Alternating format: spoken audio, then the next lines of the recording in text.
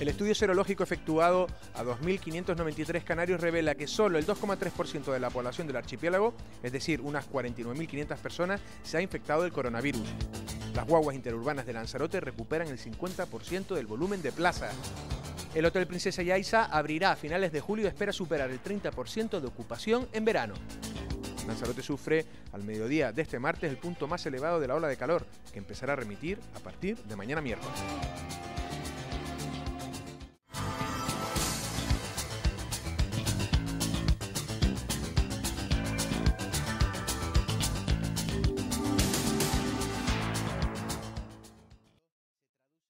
Tal y como revelan los resultados preliminares de la tercera y última oleada del estudio serológico efectuado a 2.593 canarios, solo el 2,3% de la población del archipiélago, es decir, unas 49.500 personas, se ha infectado de coronavirus.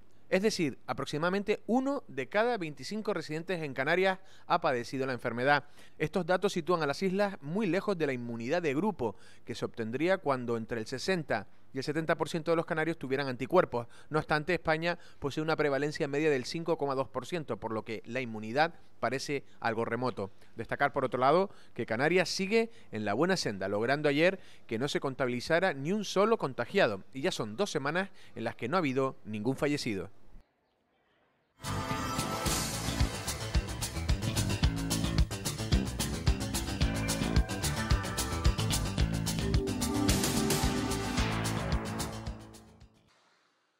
Ya en estos momentos hay abierto más de 20 complejos turísticos en la isla que junto a los que abrirán en las próximas semanas se superarán las 20.000 camas de las casi 80.000 existentes en Lanzarote. Lancelot Digital publicó la lista de las previsiones de aperturas de los diferentes complejos turísticos de la isla. Sobre todo será a finales de julio y en el mes de agosto cuando se incorporen los más importantes. El Arrecife Gran Hotel será de los últimos en abrir. Lo hará en octubre o noviembre. El alcalde de Tías, José Juan Cruz, uno de los municipios con más camas turísticas de Lanzarote, relató que hay ya unos 20 establecimientos abiertos en Puerto del Carmen. El municipio de Tías tiene 2.800 actividades comerciales. Eh, cuando llegó la crisis nos quedamos en 89.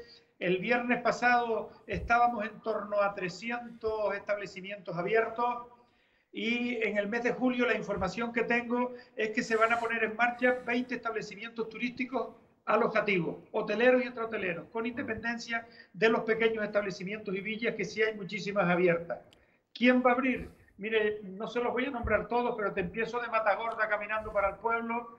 Va a abrir eh, en julio Nautilos, Gaviotas, Canaima, Morromar, Río, Floresta, eh, y así eh, continuamos el hotel de Pérez Moreno detrás de San Antonio y así continuamos y llegamos hasta el pueblo en torno a 20 establecimientos. José Juan Cruz reconoce que a los más pequeños, sobre todo complejos de apartamentos, les resulta más fácil de abrir.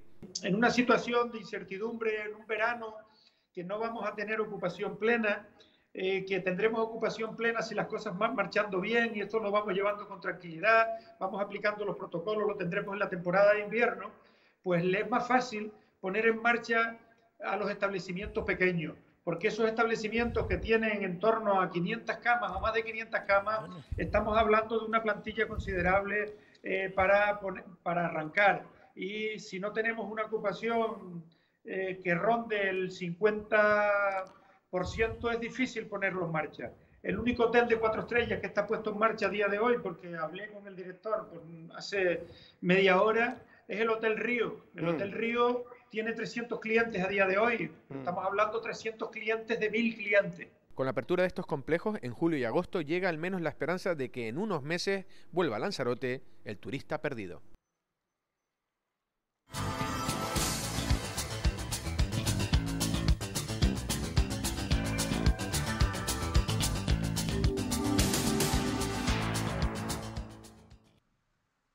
Aunque los datos de ocupación y de llegada de turistas no invitan al optimismo de momento, el director general del grupo PY, Javier Suárez, confirmaba ayer en Café de Periodistas la apertura del próximo día 20 de julio del Hotel Princesa Yaiza, un cinco estrellas gran lujo situado en Playa Blanca. Los datos no son muy optimistas, pero lo que sí es importante es empezar la actividad, porque esto es un, un ciclo, un bucle maldito, y digo, y maldito bucle, porque si no abrimos el hotel, no damos confianza a los agentes de viaje, a turoperadores y a los propios clientes, ellos no hacen reservas. Si no hay reserva, eh, posponemos más la decisión de apertura. Por lo tanto, es un bucle que debemos de romper. En cualquier caso, Suárez reconoció que esperan que poco a poco se vayan consolidando las reservas. Las nuevas reservas han suplido las cancelaciones que tenemos. Por lo tanto, nuestro booking lleva desde hace varias semanas que ya íbamos anunciando pues, en los medios comerciales esa próxima apertura estable y empezamos a encontrar brotes verdes, pequeños brotes verdes. Con respecto a los protocolos sanitarios por el COVID-19, señaló que el Princesa Yaisa tiene unas habitaciones de aislamiento preparadas por si se detectara algún contagio. Hay un protocolo específico que se ha facilitado por parte de los organismos públicos, especialmente por sanidad, donde ante cualquier alarma o cualquier pequeño indicio de que una persona puede venir, eh, puede estar afectado con COVID, inmediatamente se le aísla a él y a su y a su compañía, a otra parte del hotel, una, ya tenemos habilitadas habitaciones especiales y se refuerzan los protocolos de limpieza. Por otro lado, Javier Suárez confirmó que el Hotel Fariones, aunque esté terminado y preparado para abrir, no lo hará hasta septiembre, porque el grupo iba a concentrar los esfuerzos y los riesgos en el Princesa Yaisa, un hotel ya consolidado en el mercado turístico.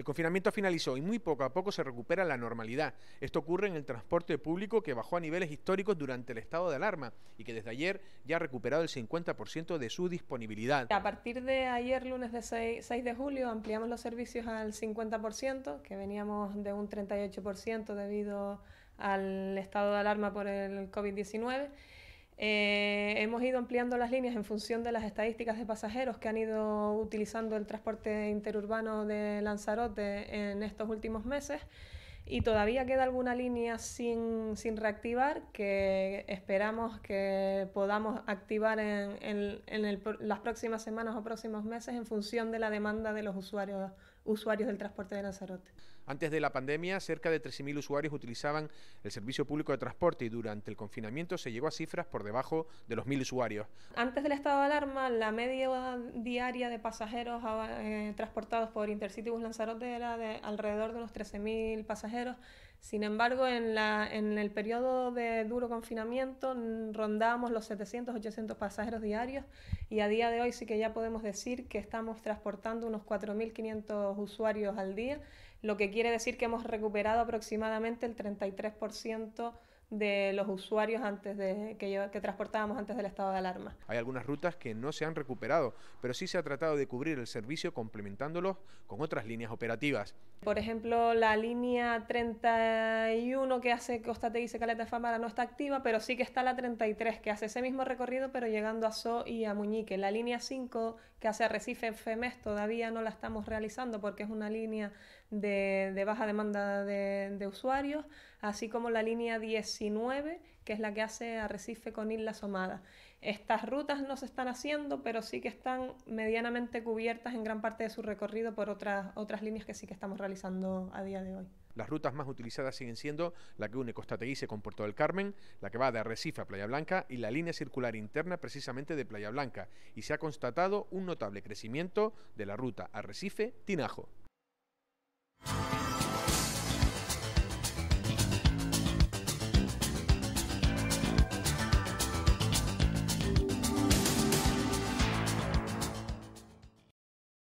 Calor, mucho calor es el que Lanzarote está viviendo en la jornada de este martes. Temperaturas que en el interior de la isla rozarán los 40 grados centígrados y que tanto en Arrecife como en otras playas, como en Famara, la gente está aprovechando para disfrutar de la agradecida brisa que da la costa. La temperatura empezará a bajar de forma gradual mañana miércoles, esperando para este fin de semana un tiempo más agradable. También es de esperar que ya el fin de semana tengamos unos valores, eh, o al menos que no estemos en aviso, ¿no? Y que se retire la calima que tenemos en niveles altos y demás, pero vamos, aún así las temperaturas se quedarán en unos valores normales para la época, por otra parte, por encima de 30 grados en muchas zonas, ¿no? que es lo que toca también. El tiempo africano y por tanto la calima irán desapareciendo en la jornada del miércoles y del jueves. Mientras tanto, mucha hidratación y mucha playa para los que puedan ir.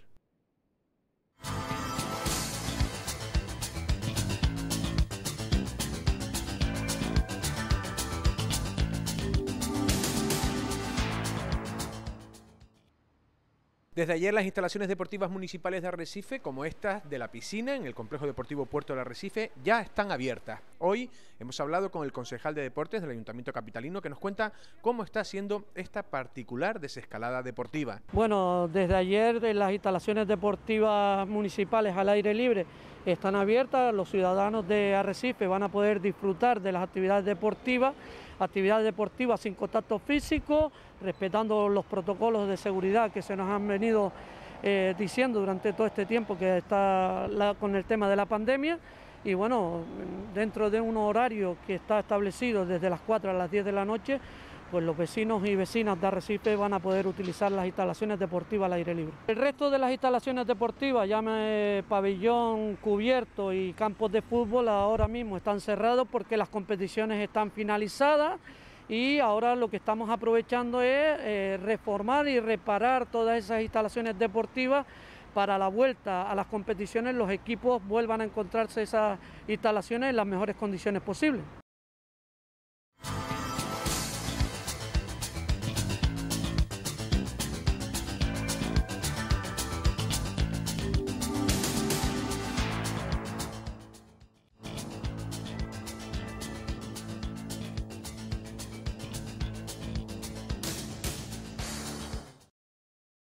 Hormiconsa, a través de Hormicasa Inmobiliaria, ha puesto a la venta 30 viviendas en este edificio en plena cuatro esquinas, entre las calles Cienfuegos y Leoné Castillo, y con inmejorables vistas al charco de San Ginés, en Arrecife, un exclusivo proyecto de viviendas de distintas tipologías. Consta de viviendas de dos y tres dormitorios. Una parte de la calle Cienfuegos, no por ello menos bonitos los pisos, pero otra parte es la que da con vistas al charco San Ginés y son viviendas de tres dormitorios, tres baños, en esquina, hay varios modelos.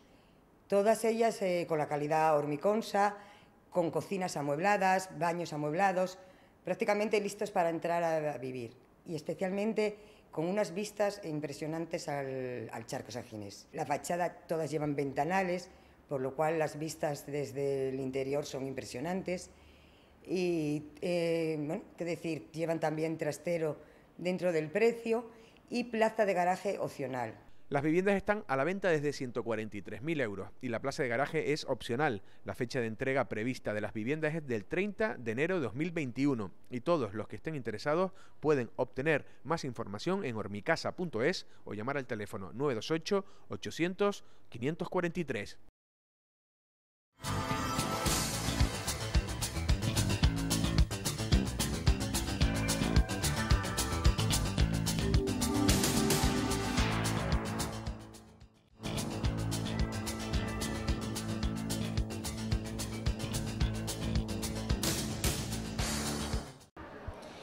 Hoy salimos a la calle para conocer la opinión de los lanzaroteños sobre las altas temperaturas y el fuerte viento que nos acompañan estos días en la isla de Lanzarote. Sí, sí, no, hace muchísimo calor, que vengo de la forma de Gran Canaria y allí hace muchísimo viento.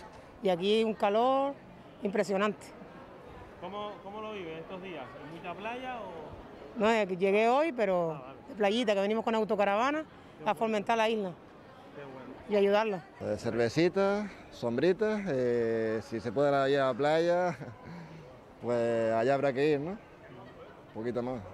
Pues horrible, pero ya no solo el calor, es la calima. A mí lo que me mata es la calima, no puedo con ella. Y mira que soy de aquí, vivo, pero es una cosa tremenda. El calor, bueno, con los alicios nuestros pues se soportan, pero lo que yo no soporto es este cielo así horroroso. Esto es lo que no. Eh, Lanzarote, por supuesto, es una isla que después cuando hace viento hay que acostumbrarse.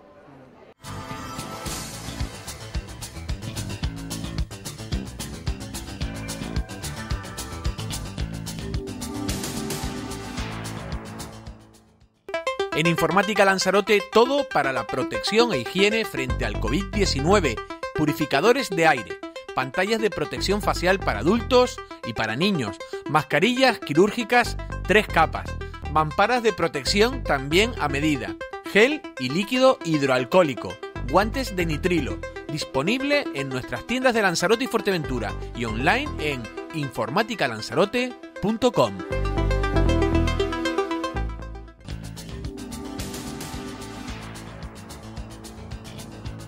Para hoy martes, cielos poco nubosos o despejados en general, con algún intervalo de nubes medias y altas durante la primera mitad del día.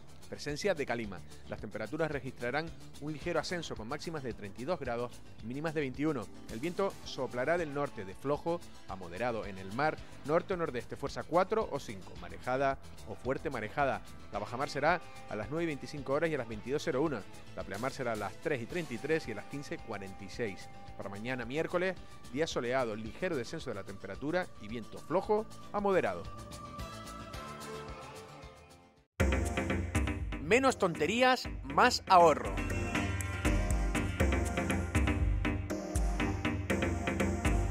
Además, añade líneas adicionales al mejor precio. Ahora en Informática Lanzarote, más móvil.